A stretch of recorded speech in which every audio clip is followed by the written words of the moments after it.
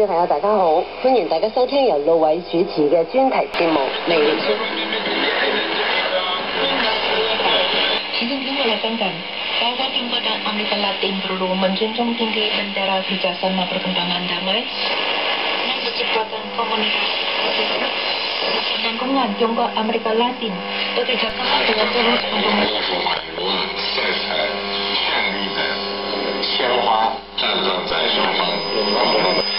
The battle for Mosul and Iraq continues, so-called Islamic State seems to have no sort of shortage of weapons with which to fight.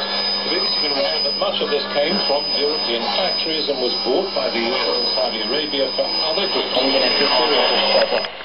A weekly program on events and life stories taking place in different parts of the world. You can listen to our show at newsplusradio.cn.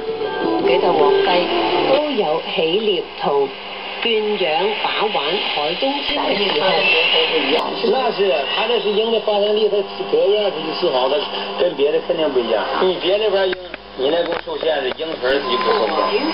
7, humidity 61%, QNH 1018.